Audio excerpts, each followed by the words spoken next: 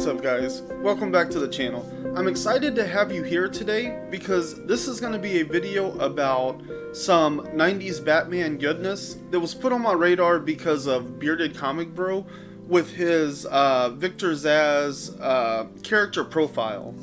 So he talked about a couple of books in there. I'm going to cover the actual origin story for Victor Zsasz, as well as Shadow of the Bat, the first four issues, in a storyline called The Last Arkham, where um, there's some crazy, weird attitude issues with Batman. There's uh, some strange characterizations going on here, but it has like that 90s pop and flair to it, and so it's an interesting story, and it really gets you into the mind of Victor Zsasz and what makes him such a dangerous villain for Batman.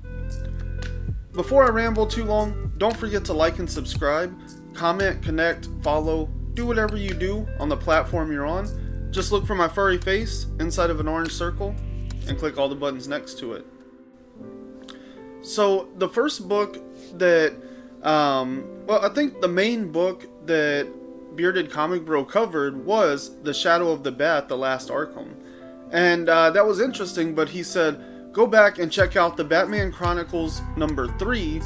That is the origin story for Victor Zsasz. So I decided to start there. And the Batman Chronicles seems to be a uh, like an anthology, so there's a couple of different short stories in here. I believe the Victor Zsasz story is the third story in the uh, the issue that it's in, number three. So um, the name of the the story is "The First Cut is the Deepest," and this is written by Alan Grant, and uh, the art is done by Jennifer Graves. And this story, I believe, it is listed as a 1995 story. And Shadow of the Bat, The Last Arkham, came out in 92. So this is kind of a retroactive uh, origin story for Victor Zsasz, but Alan Grant worked and wrote on all of these books, so this is definitely a character that um, he had a, a, good streamlined story for. So the first cut is the deepest. This starts with uh, Victor Zsasz being escorted to like a. They, they put him in this like square cell in the middle of a room, but inside that cell there's also like this cylinder wall. It looks like a tin can. Um, and it goes so he has to go into the cage and into the cylinder and there's only a cutout for his mouth. So a lot of times when he's in prison, the way that you see him interact is like you just see his mouth through this little window, um, which has a, a chilling effect for his delivery. So they escort him into this cell. Well, it's inside of a big open room and uh, he has a psychiatrist. She sits down and, uh, or a therapist. I don't know.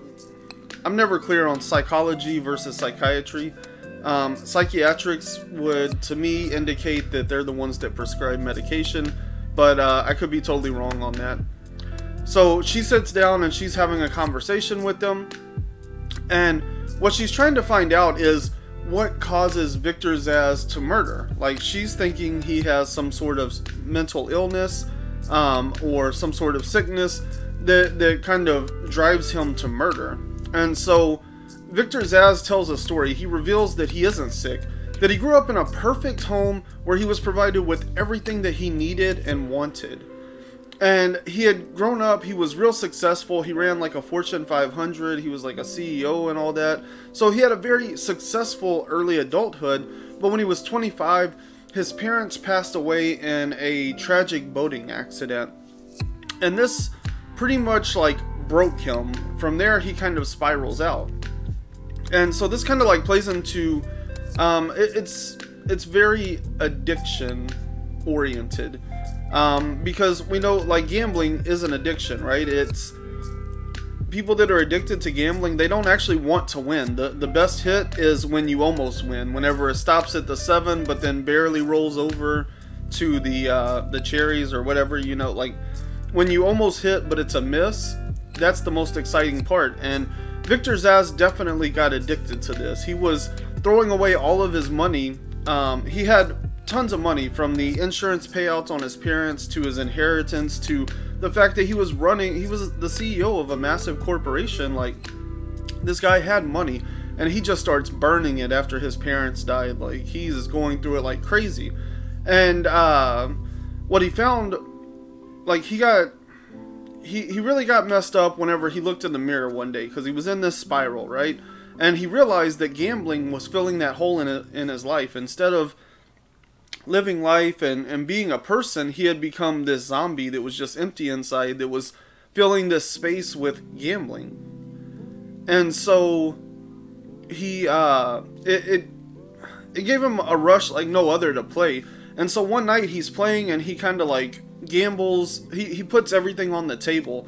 And he's up against Penguin, who it does not play fair. So Cobblepot takes all of his money. And so and, and Zsasz basically gets kicked out of the casino at that point because he has no more money. So with nothing left, Zsasz decided to take his take his own life and escape this world. But before he was able to jump, a homeless man with a knife attempts to rob him of anything that he might have left on his person, but Zsasz wrestles with him to be able to get the knife away. And basically what happened is Victor Zsasz wanders out onto this bridge, he puts a rope around his neck and he's going to jump off the bridge and like he even says in the dialogue, you know, he doesn't care if he the rope's too long and he hits the bottom or if it's too short and it snaps his neck. Who cares? He just wants out of this life. This guy comes up with a knife and tries to rob him. He tells him, you know, you're you're not about to need any of the stuff in your pockets, so just give me everything you have. And this sparks something in Zsasz and he like, um, he recognizes the guy, like not not the person, but he looks into his eyes and he sees what he saw in the mirror when he looked at himself just this empty hollowness, this zombie. And so Zsasz decides that he is going to kill this man, or I guess they kind of wrestle over the knife, and then Zsasz realizes that as he's looking into his eyes and says, you know, like, I'm gonna kill you to help you escape your zombie like existence. So Zsasz definitely looks at his murders as a way to free people from like the worldly um, I guess like problems they have surrounding them, you know, whether they're a slave to work or they're a slave to an addiction or um, a substance or whatever else, you know, like he sees himself as freeing these people. He's taking them out of that zombie-like state. And so after this goes down, uh, you know, he he kills this man, and this is when he decides to cut his arm, and he puts a mark in his arm, and so the first cut is the deepest is a reference to the fact that this is his first kill, and if you know Victor Zsasz, he marks his body for every kill. So he marks his body, and that's his first kill, his first mark.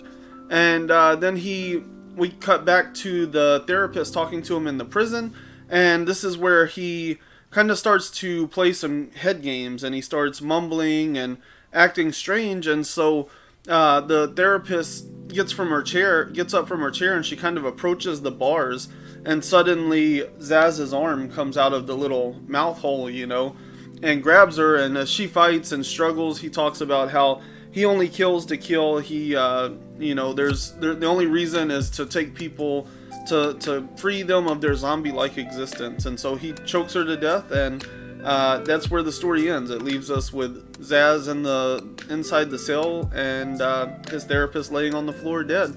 So that's the origin story for Victor Zsasz, and it's a pretty good story. I would like to see it. Um, I think it would be cool to have a lot of those elements adapted into the B plot of uh, the Batman 2 or whatever they would call the sequel.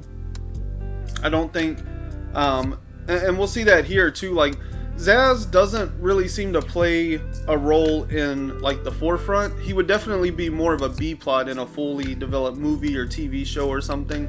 Um, but he's definitely an interesting character to have bubbling just below the surface. So after that, we get to Shadow of the Bat, and this actually came out before uh, the Batman Chronicles, the deepest cut. So, or the first cut is the deepest, and there are like some inconsistencies there. I think in the Batman Chronicles, they refer to him as having 147 kills. Um, whereas in Shadow of the Bat, they only refer to it as, I think, just 47 kills. So there's some discrepancy there because even though, you know, that story was written later, it technically takes place before this. So how is he in prison now with marks all over him and only has 47 kills, but in the Batman Chronicles, three years later, they write him as having 147 kills. Before that in the time. So yeah, there's like some some weird things there, but overall, Shadow of the Bat's pretty interesting. I feel like it falls apart in four. Um, not terribly, but I mean, it's just four is not like the most solid ending. But overall, I enjoyed this series because uh, it deals with like Batman being locked in jail. Um, we see the passing of the torch for Arkham Asylum, and this is kind of a new generation for Arkham Asylum. It's converted basically from a prison to a, um, you know, what we know today is like more of an asylum, and uh, a lot of crazy characters in here. So when the, the first issue opens, Arkham is empty to allow for a massive overhaul and remodeling of Arkham Asylum after Jeremiah Arkham takes over the family business from his lunatic uncle Amadeus Arkham. The prisoners are not happy and Jeremiah has some weird proclivities about keeping old stuff. So there's like a lot going on here with um, Jeremiah is taking over and his uncle was uh, Amadeus Arkham he built the original prison, and he he seems to have like spiraled out and uh, kind of lost his mind, and they're not sure why he went crazy, I guess. But it's something that weighs on Jeremiah all the time. He's afraid that people are going to perceive him as crazy because his uncle um, ended up turning into what he was uh, trying to heal, I guess. So, um, and then the other thing is they're like throwing out stuff, and Jeremiah is real dismissive of the past. Like, we don't need to keep anything, get rid of it all and all the prisoners are being escorted out because they're going to basically rebuild all of Arkham. So the prisoners return to the prison to find cells and new punishments for their crimes and themes. So like now they have like a glass room to put uh, Scarecrow in. Um, they have like this labyrinth of mazes and stuff so that the prisoners can't really learn how to get around and stuff.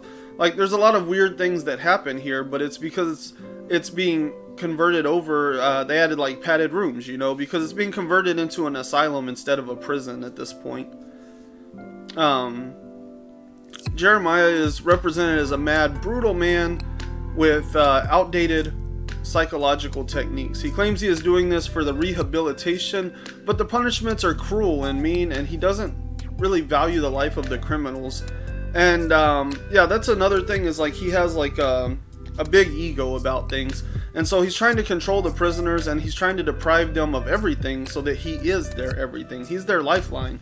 They have to beg him for food. They have to, um, they get beaten very brutally whenever things aren't going right, if they try to do anything weird, you know. And we see all of this play out across the book. It's very apparent whenever Batman's in there what conditions are really like.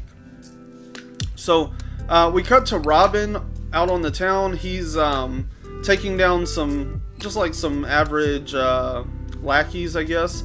And uh, whenever he gets done with them, he goes to leave and he runs into Nightwing.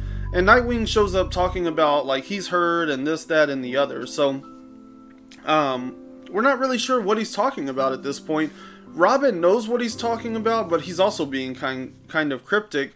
But we know that something has happened with Batman, and uh, so that's kind of what they're worried about here. And then we see uh, Jeremiah. He has a session with Zsasz where, uh, you know, Jeremiah himself, he becomes uncomfortable of the thoughts of becoming a, a crazy person like his uncle. So Zsasz is kind of, uh, Zsasz is like messing with his head and he's telling him, like, you're no better than Amadeus. Like, you're just going to turn into another uh, patient here instead of a doctor or a healer. And this is really upsetting because um, for Jeremiah because he's uncomfortable. He's always afraid of that inevitability. This is where we see uh, the book here pretty much ends up. Batman is shown. He's in full costume and cowl and he's handcuffed to the wall in uh, the Arkham cell. And Jeremiah sends in all the orderlies uh, and they go and they, they start beating him with batons. Not that Batman doesn't get his punches in, like he's pretty quick even though his hands are chained to a wall. But uh, they do eventually get the best of him and they start to beat him. And uh, he starts claiming, you know, I didn't do it, I didn't do it, it's not my fault or whatever. Um, you know, claiming innocence. And Jeremiah kind of laughs at him because, you know, that's what everyone says. Nobody's going to come in here and admit what they did. So we're left to believe that Batman did something wrong and he's locked in this cell. And um, whenever they're beating him, one thing that I thought was kind of interesting um, is like they beat him down and then they're about to remove his mask and Arkham tells them no. Like Jeremiah says, like, no, don't take his cowl off. He's going to reveal his true identity whenever he's healed. And so that's kind of letting us know how big Arkham's uh, Jeremiah Arkham's ego is. Like this dude is crazy because he thinks that he's going to heal Batman of whatever afflictions he has, and uh, he's just gonna like take off the mask and be like, "Oh yeah, you're right. I was out of my mind this whole time. Thank you for healing me, Doctor. My name's actually Bruce Wayne." So we know that's obviously not gonna happen, but it's a great insight to how big Jeremiah Arkham's ego is. We move on to part two, and uh, we see this is more or less a flashback. We're going back to how Batman ended up in jail. So, Batman swings into an old cemetery as he hears a little girl's voice.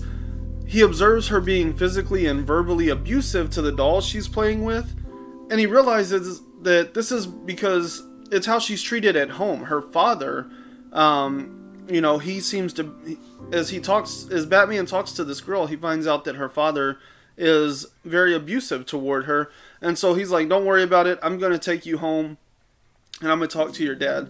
So to me, this came off a little bit old school in the sense of like 66 Batman, where like, I'm going to come sit down and have dinner with your family and we're going to work out all your personal problems.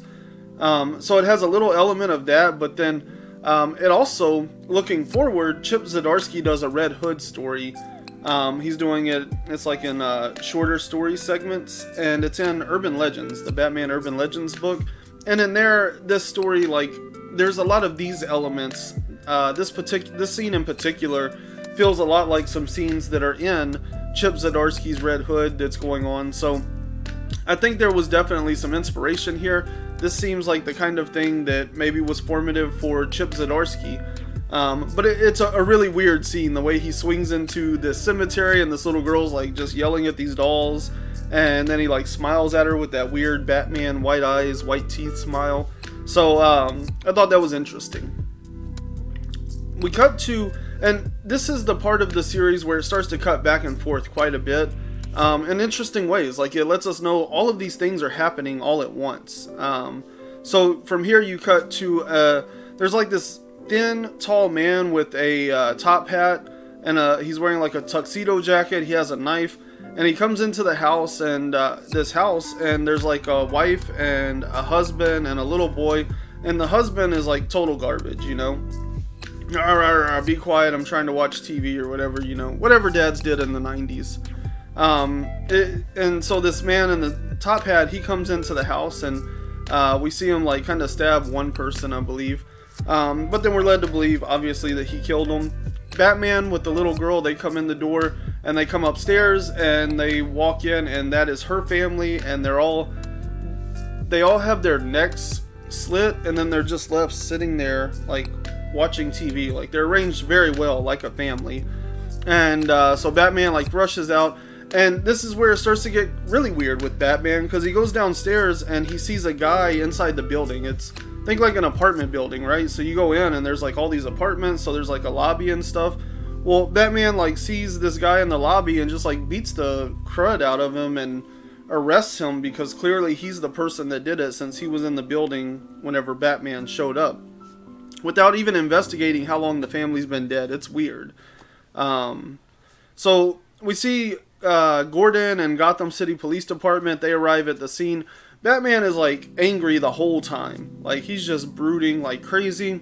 He decides that um, they're not going to stick around for the forensics because he recognizes the MO of these murders. This is definitely the work of Zsasz, who is supposed to be in Arkham, but clearly he has broken out and killed this family. And so Batman is going to go to Arkham prison and he is going to check the cell and he's going to see that Zsasz isn't there and he for sure did it. Fast forward to later, they get to the prison in Batman's like super weird 90s car. And uh, they meet Jeremiah Arkham for the first time. He takes them to Zsasz's cell. And, uh, you know, Zsasz seems to be there in the bed, but he's like covered up and it has glass walls. Like they don't want Zaz to be out of eyesight ever at all. So Batman starts to get real angry because He's mad because Zsasz is there and he knows that Zsasz did this, so he wants to know how he's sneaking out of the prison and killing these people.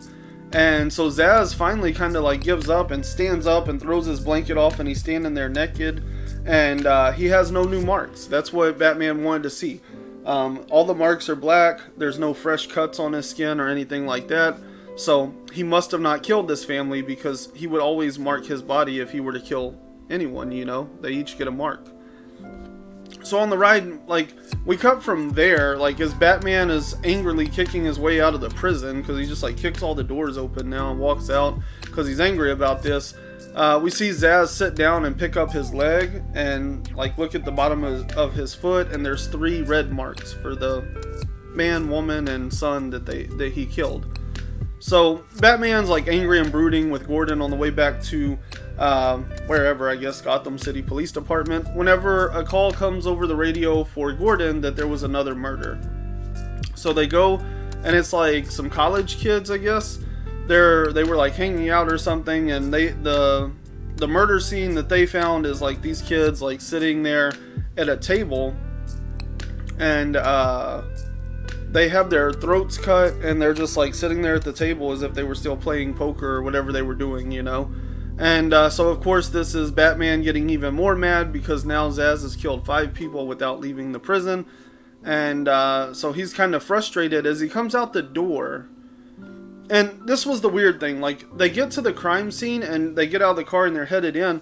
Well, there's like one police officer, right? There's Gordon walking to the crime scene, Batman's walking along next to him, and then there's some cops like guarding. And they let Gordon go by, but this cop's like tells Batman, like, no, you can't come in. And Batman like quickly just grabs his arm, flips his wrist around, and handcuffs him. He's like, "I'll tell you where I'm gonna go or whatever." Like, I don't know what the deal is with Batman. It made less sense that this cop is all like, "You can't cross the crime scene. You're walking with Gordon. They just got out of the same car, like right in front of your face. You know that they're together. Why would Gordon not expect Batman to be able to enter the crime scene?" This part made no sense, but you see Batman get kind of angry with the cop for like telling him he can't cross, so he handcuffs him and walks past anyway. So like Batman in this version, like in this 90s version, like he's super angry, he's very authoritative. He wants everybody to follow the law. But then whenever a cop tells him something to do, well then he just like handcuffs the cop and tells him like no, you don't run me. So I don't know what side Batman's on in this version to be honest. Um so they went upstairs, they see the crime scene. Of course, it looks just like the family.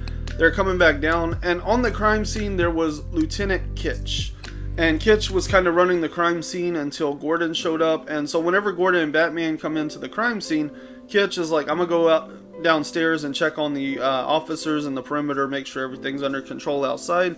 So when they come back down the stairs, Batman and Gordon, um, Kitch is standing outside and he's joking with the cops. And this, like, super angers Batman. Like, he loses his mind and straight dives after Kitch. Well, Kitch pulls his weapon and fires off a shot, but it misses Batman. It just goes off into the distance, I guess, or whatever. And so Batman like takes him down. He's like, "You'll never pull a pistol on me," and like starts beating the crap out of the lieutenant uh, commissioner of the Gotham City Police Department. It's quite strange. Gordon pulls his weapon and he's telling Batman to stand down and runs up behind him and gives him catches him like right in the temple with the butt of the gun. And so Batman passes blacks out and passes out. And Gordon checks Kitch's pulse and he has no pulse. He's dead. And so Batman is arrested and taken to Arkham. So that kind of informs us how Batman got into Arkham Asylum at the end, you know, whenever we saw that little bit at the end of the first issue. Um, we also see Nightwing and Robin are once again meeting up and they're having this conversation. And Nightwing is really confused. Like, he basically wants to go break into the prison and talk to Batman and find out what's really going on because he can't believe that Batman would kill somebody, much less a cop. And Robin's saying, like, you know, give it time and distance. Like, right now there's so much going on, you can't really tell what's actually happening. But, like, let's just take things one day at a time. Like, Batman's doing fine in prison, he'll be okay there. Let's give it some time to clear up and uh, Nightwing is very unhappy with that. He jumps off the roof and basically says a couple things about how he thinks, you know, of course, Bruce was right for picking Tim to replace Dick, but, you know, he's not just going to wait around for things to happen. And so Nightwing takes off, and that's when issue number three opens with Nightwing standing over the top of the prison. Actually, it might be the end of number two where we see that. And number three, we see Nightwing arrive at the prison and basically like on the rooftop where he left off. So he shows up and he moves past a guard. He opens up a vent and climbs into the um, air conditioning ventilation just in time. He's crawling through the vents and stuff, and he starts to hear a noise. And he like looks around the corner with his flashlight, and boom, there's Batman right in front of him. Um, which I guess that was also at the end of number two. You see Batman had like a little metal pick hidden in his mouth, I guess in his teeth or something. I don't know, but he we know at the end of two he has a way to pick his handcuffs. So the beginning of number three shows Nightwing going to the vent ventilation. He's moving around the prison and he runs into Batman, who apparently also freed himself and climbed into the AC ventilation. So um, you know, Nightwing's kind of angry because he wants to know why Bruce is doing whatever he's doing and why he didn't tell him anything and this, that, and the other. Batman's like, yo, just chill out. You'll understand later but we need to go find something. So Batman's like looking for evidence, so they go back the other way down the vents. We cut over to uh, Patrick Glimp, and he's a man like he's in on this talking to his wife in a phone booth. He's got like makeup on, it, like lipstick kisses, and his collar's all messed up, and he's trying to defend himself, tell his wife that he hasn't been out hanging out with some floozy or whatever. Um, and he's approached by a man in a top hat and a tuxedo with a knife, and um, he kind of opens the phone booth door and he's like, "Yeah, what do you want, buddy?" And uh, wait your turn or whatever. And so the guy just like cuts his neck and hangs up the phone while his wife's screaming in the background. And then we uh, cut away from there. Like as we're leaving that scene, we see uh, we see the man in the top hat. He's on the phone talking to somebody, and Patrick Glimp is like sitting on the bench, like all proper again, with you know blood running out of his throat. So, um, while we cut back over and we see Nightwing and Batman, they're in Jeremiah Arkham's office and they're looking for evidence. They they believe that Zsasz is escaping, and the only way he would be able to escape this new like super tight prison is if Jeremiah Arkham himself was helping. Um, in fact, whenever Batman went to visit the prison with Gordon earlier, he went over some of some of the security stuff that uh, explains like why Zsasz couldn't possibly escape unless Arkham was helping him. So now Nightwing is going through the office. He's like, I don't even know what we're looking for. Batman's like, just look for something on Zsasz. Um, Batman finds a folder with the name Everard Mallet on it. And at the same time, Nightwing is on the computer looking through files, and he comes across one that's marked Ever- Everard Mallet, and this one sets off an alarm. So we cut to like this weird scene of Jeremiah Arkham asleep in his bed, and um, the alarm starts going off to wake him up, but it shows us a glimpse of what his dream was, and it's things like the Joker, like helping an old lady cross the street, and Batman shows up and beats him up, and um, I think there's a scene with like the Riddler doing some. Eh, basically, what it is is like all the villains. You know, these times that Batman has stopped them, they were actually doing good things. They were good guys, and Batman's just the crazy one. So Arkham wakes up and he sees the alarm and stuff. He calls the orderlies, and they rush the door to his office. As they come rushing in, uh, Batman basically just like runs into them all and tries to push them back so Nightwing can get out. He gives Nightwing that folder that he found of the name Everard Mallet, and uh, Nightwing basically like jumps and skips over everybody so he can escape. So he runs out the vents. The guards are uh, once he's out of sight, then uh, Batman gives up. You know, he okay, okay, okay, and so they arrest him, beat the crap out of him, of course, arrest him, and they take him back to a cell. And fortunately, Nightwing's able to escape with the the file on Everard Mallet. So um, from there, we've cut to another scene where there's uh, this guy named Zali Hiram, and he is the builder. He is the architect of this new prison. So we cut to him, and he's gambling, but he doesn't have any money. So he tries to borrow some more money, and the guy cuts him off. He's like, "No, you already owe us like 50 million or whatever, or 5 million or something." And he's like, "But I know I could win." And he's like, "No, you have to get pot. You know, you have to pay off your debt before you can get another loan." So he cuts him off he and Hiram like leaves the the casino and he's kind of like down looks down on his luck and stuff. And as he's walking down the street, he's approached by the man in the top hat and the tuxedo jacket again, but this time he has a gun. And he tells uh, this guy like you know go into the uh, alley here, blah blah blah. And th- the unique thing here is Hiram seems to recognize the man in the top hat. He seems to know who he is and what he's there for, and that he's not going to make it out. And um, so we cut to Gordon, basically, and the Gordon and the GCPD are at this alley, and they're looking at the crime scene. And of course, you have Hiram's body sitting in the alley, leaning up against the wall. The gun's there. He has a suicide note in the other hand, um, and he had a single gunshot wound through the head. So, you know, Gordon checks out the letter. It says, you know, I was in so much debt. I'm so sorry, honey. I couldn't, blah, blah, blah, you know. And so basically, uh, Gordon says it's suicide. Like, Batman's wrong. It's not Zsasz. Like, this whole thing we're doing, this ruse to get Batman in prison and stuff, these games we're playing, all of this stuff is useless because this is not Zsasz. This is different from all the other murders, right? So uh, we see that Zsasz is now uh, convincing, like Zsasz is having a session with Arkham, and he's getting in Arkham's head again. And he, basically, he convinces Arkham that he needs to beat Batman in order to impress all the villains. So we saw that weird dream where Arkham was kind of like a, a, villain sympathizer, basically. Well, now we see this scene where um, Arkham wants to impress. Jeremiah wants to impress all of the villains, all of the rogues gallery.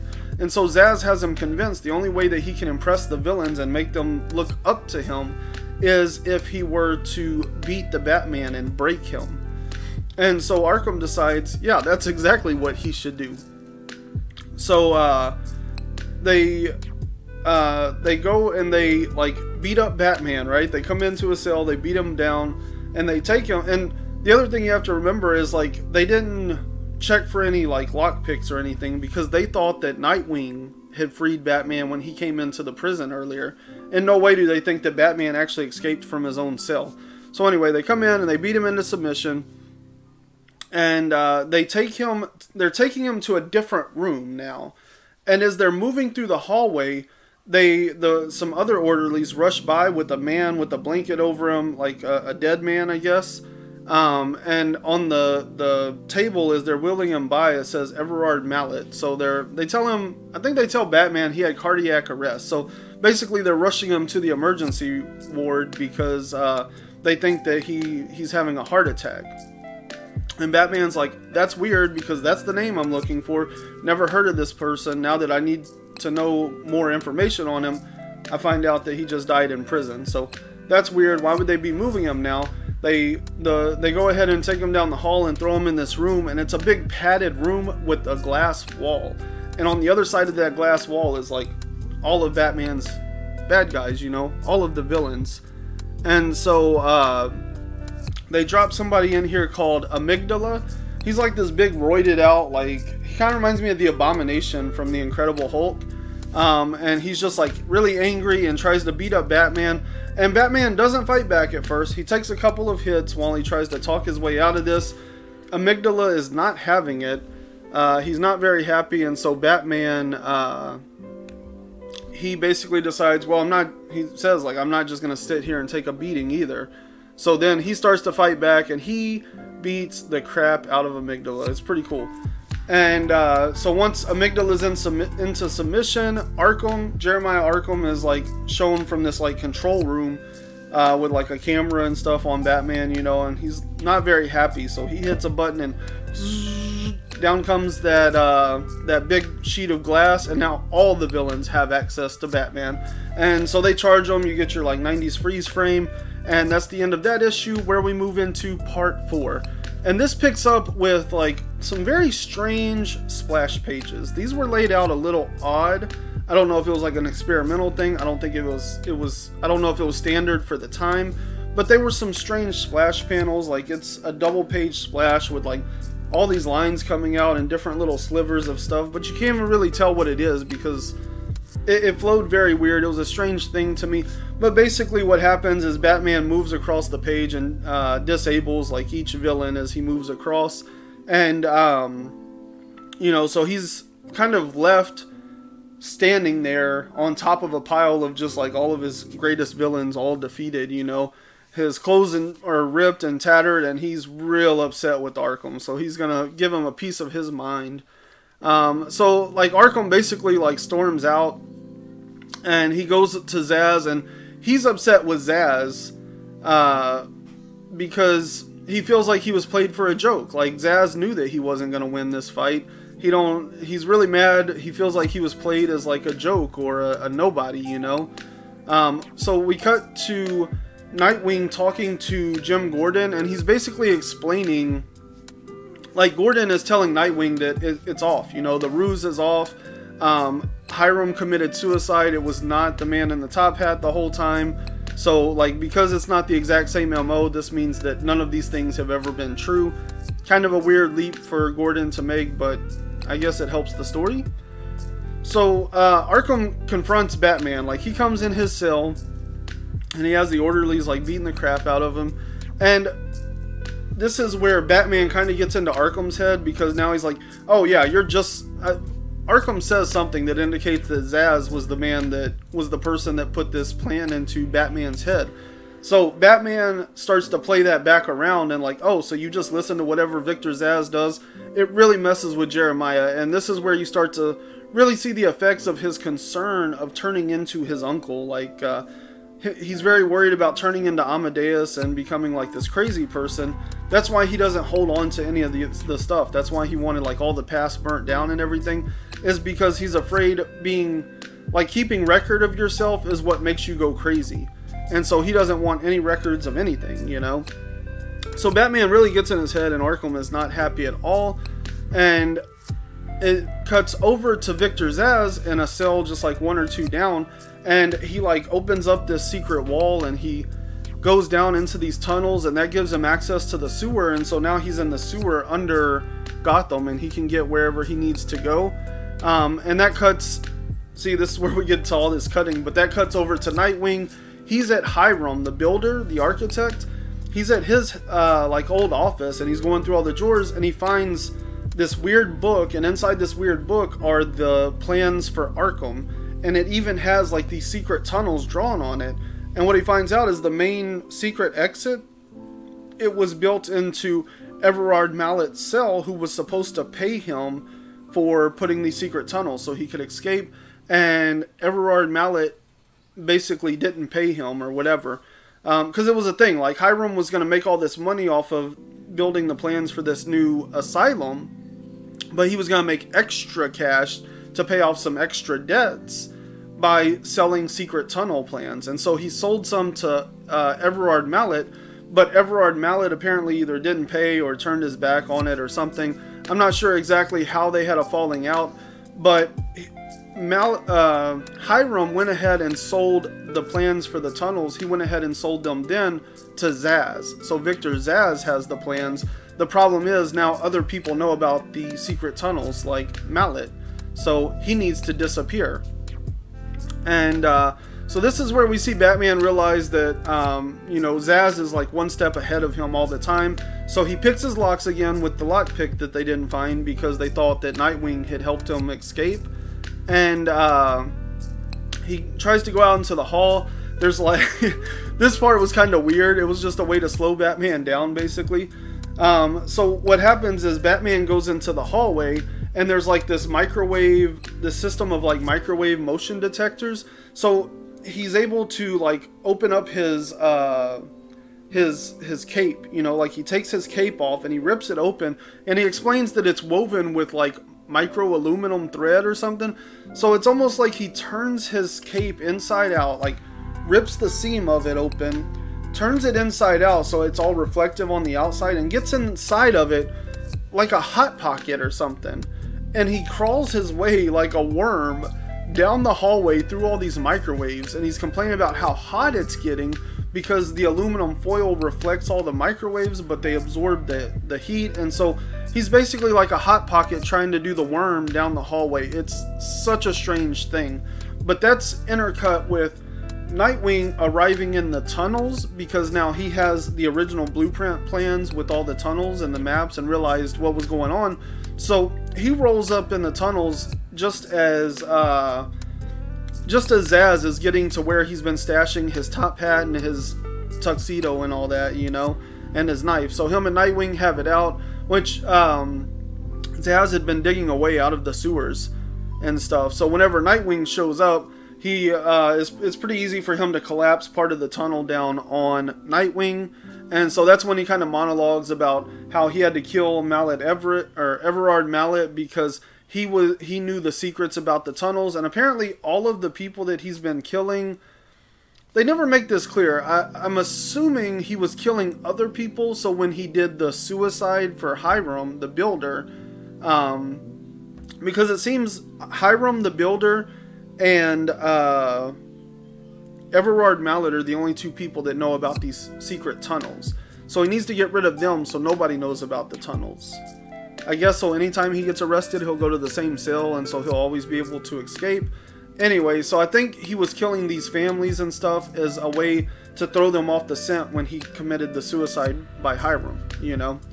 Anyway, he kind of monologues about that as Batman finishes escaping while doing the worm as a hot pocket. He does that thing, so he shows up as uh, Zsasz is about to take off and leave Nightwing buried there. And uh, so Batman's able to get into a good fight with them. They have some fisticuffs. Um, of course, Zsasz does not fare well against Batman. And uh, also, whenever whenever Nightwing found the plans in the office, he called Gordon and told Gordon, like, I just found the plans, I know what's going on. He explained it to him. So Gordon and Gotham City Police Department show up at Arkham Asylum, come in the front door, and so as Batman is fighting, they're doing that. So Batman frees Nightwing, he's able to beat up Zsasz, and they come climbing back up out of into the cell just as Gordon and GCPD are showing up there. And um, this also kind of exonerates uh, Jeremiah Arkham, right? He didn't have anything to do with Zsasz escaping. He didn't know about the tunnels. He didn't; those weren't part of the deal with Hiram. So like, he's free and clear on that. But now we know like he's losing his mind. and He's probably not the best person to have in charge of Arkham Asylum. And so this is another weird Batman moment where Batman basically like yells down his throat about how he'll be watching him and he's gonna have him like a bug under his thumb or whatever else. Like it, it's wild sometimes what Batman has to say in these comics. Um, and so that's it. Like basically they arrest, uh, they put Zsasz in custody, and uh, you know Batman and Nightwing get to leave the scene of the crime and everything. Gordon takes it, you know. So that's it. That's how it wraps up. It's a decent read. I mean, this was like I said. I think, I think Victor Zsasz. I think this illustrates how Victor Zsasz could be a great B plot in a movie or even like a couple of episodes of a TV show or something because he is smart. Like he was always one step ahead of everybody. He always had a plan one step. He even planned to murder people so that it would be a distraction from the murder he actually does and hopefully the two different MOs would cause the police to like completely lose his scent and not even catch him. So Victor Zsasz was very smart in this story. Um, the thing with Jeremiah Arkham, like, it was just a little weird. It felt like uh, antiquated writing psychology. So, like, maybe that's on me for reading this so late. But, I mean, the dude is, like, losing his mind, and there's no. I guess he's a psychiatrist, but and they do a little bit of digging into the family background, but it feels so irrelevant. Like there's a scene where he's like 16 and he goes to work at a store and when he shows up at the store some the guy already killed like the the guy that he was supposed to be exchanging shifts with or whatever. Like it's a whole thing that really means nothing because the guy ends up killing himself. I guess it's just supposed to show you that he has seen something that would make his mind crack. But i don't know there was a lot of weird stuff with jeremiah arkham and he mostly feels like a tool to fuel the batman plot. Um, Nightwing and Robin's disagreements. Basically, Batman, Bruce had told Alfred what was going on, and so when he was when Batman was arrested, Alfred told Robin, and Batman had told him like don't tell anybody else or whatever. So then Robin told Nightwing. So like that's where all of that weird family drama is coming from is like Nightwing's upset because he was left out, he wasn't told this information but yet Robin was given this information and this, that, and the other. Weird stuff there. Overall, my biggest complaint about this story is Batman. Like, he refers to the, the his rogues gallery, like, he's beating them up, like, beyond mercy. Um, he often refers to them as, like, scum and low lives and Um, I, I know it's like just like a 90s thing, but he really devalues the life of anybody, basically anyone that's not him or Robin, I guess, really, you know. Um, him and Gordon seem to have a pretty good relationship, but like the way he goes after the cop, like that whole thing was weird. And then uh, they kind of bring it around as like uh, Kitch was alive, by the way. Um, you know, it was all set up as a ruse or whatever as well. But like the whole thing was just kind of cheesy and weird. Um, overall, like what I would like to see. This is how I would play with Victor Zsasz in the Batman franchise because we're I'm, I'm assuming that there's going to be three movies here, right? The first one is too late to do anything with. What I would like to see in the second movie, uh, the Batman 2, if you will, like just have a scene where like they're going through a casino or something and you see the penguin at a uh, casino table and then have like uh, you know whoever's going to play Victor Zsasz be there like getting angry. This can happen in the background. It doesn't even need any dialogue maybe while uh, Bruce is at the bar having a drink or something you could cut across the the casino to them give them a little conversation. But really you just want to show Zsasz get kind of angry and Cobblepot taking the full pot and then like Zsasz walking off or something. Boom get enough there. And then like in the toward the end of the movie maybe even like a, pros, a post-credit stinger a great way to set it up for the third one would be to show just the scene of like Zsasz reaching out of the his cell and choking his psychiatrist from the Batman Chronicles 3 from his origin story. So boom, in the second movie you've got two scenes that would establish Zsasz for the third movie and then maybe take his, you know, a very streamlined Zsasz centric version of like basically take all the Zsasz elements from the last Arkham and put those as a, a B or C plot in uh, the Batman 3. And so then, like, you've already established, like, why is he a murderer? Oh, because he lost all of his money and everything to the Penguin. And then, like, has he murdered before? Well, yeah, we saw it at the end of the second movie. So in the third one, when there's a murderer just, like, lurking the streets and they're finding these dead bodies and stuff, and it's kind of like a side thing that Batman's working on, that's that, you know? So I think that would be a great way to play with them in the movies.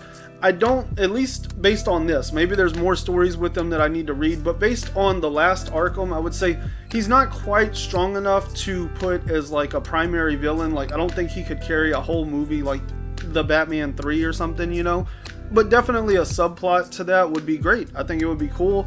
It wouldn't take a lot because Zsasz is, he's really smart. He's one step ahead, but he's also not like physically anything to worry about, right? So it'd be very easy for Gotham City Police Department to be working on the Zsasz case, and Batman's extra intellect popping in every now and then is enough to give them the boost to get ahead of Zsasz and catch him themselves, you know? So that could be a great, like, subplot for keeping uh, Gotham City Police Department and Jim Gordon busy, but at the same time, kind of like bring Batman in occasionally in the movie, a quick scene or two, just to like really establish that this is a big enough deal for Batman to be involved, but Zsasz is not a big enough threat for him to stop worrying about whatever the central focus is. So that's what I thought of uh, the last Arkham. I will.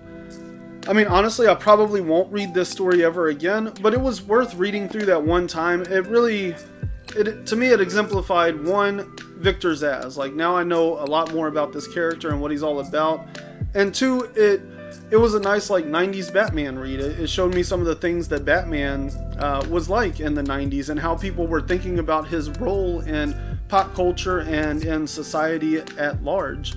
And then you also have um, like i said i mean there's a lot of elements to this that i've seen in chip zdarsky writing.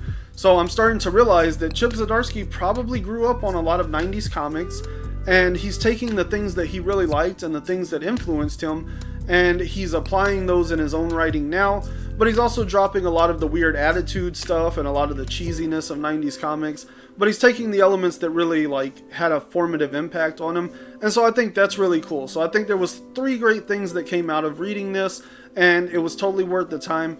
I hope you guys learned something. I hope that this encourages you to either go back and read about uh, victor zsasz and read the last arkham or maybe it'll uh, at least be good reference material for you to kind of understand what happened in the story and where it all went and what it all means and the impact it's had on comic books today. So that's all I have for today. I hope you guys enjoyed.